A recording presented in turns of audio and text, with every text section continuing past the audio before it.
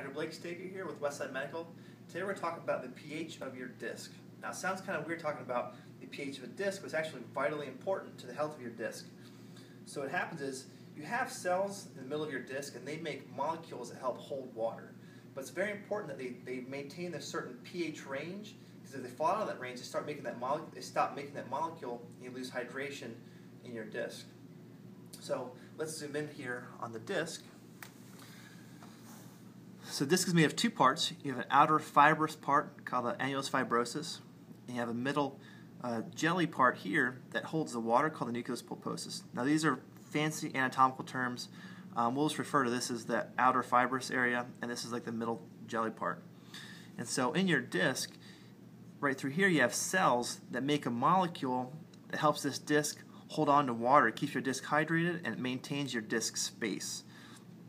Now, in this disc here, you don't there's there's no blood flow to it, so it it relies on diffusion to receive its oxygen and nutrients.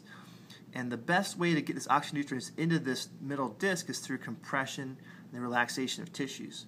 So you have this compression and relaxation of tissues, it brings in like glucose and oxygen, and it allows these cells to make the, the molecule that helps hold the water. Now the technical term for it is called a proteoglycan.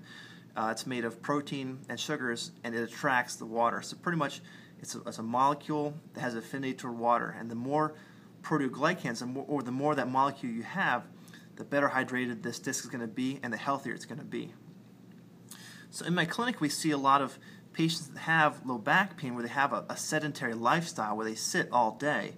Um, and what that does is when you're sitting all day, you have this compression of the tissues but you don't have any, there's no fluid turnover. And so this disc here becomes acidic because it's not getting the oxygen, so it's making more lactic acid. It's similar to when you're working out and the last couple reps you really feel that burn. It's because you're bypassing your body's ability to process the oxygen, you're making the lactic acid. And so when you don't get oxygen here, you make that lactic acid, and it's going to drop your pH. So it makes your disc more acidic than it's supposed to be, and then these cells, they stop making the proteoglycans. They stop making the material that holds the, the, the water so it doesn't stay as hydrated. And so what happens is when it stops making these cells, you get less hydration, and then you get some bulging here on this outer fibrous part, and that's where you can, can get some of those disc injuries or disc tears that, that occur you know, later on in life. Um, there's different studies out where they've done uh, MRIs on people, and they kind of separated MRIs based on the person's activity level, and they found that people that that um, participate in some kind of exercise activity, the disc look a lot better than the people that have like a sedentary lifestyle.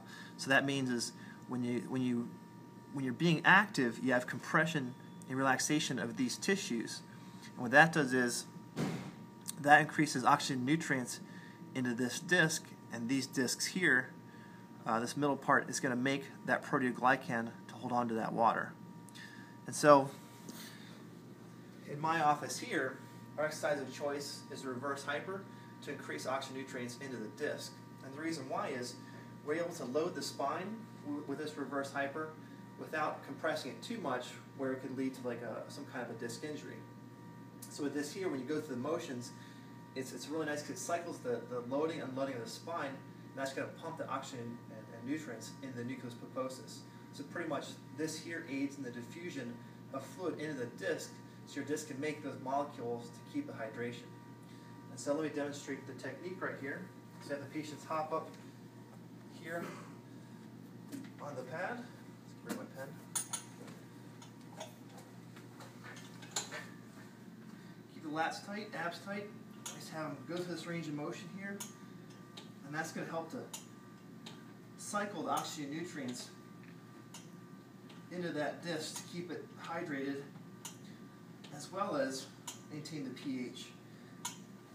So we have the uh, patients do about three to four sets of 10, and uh, that's how you maintain the pH in your disc to keep it healthy.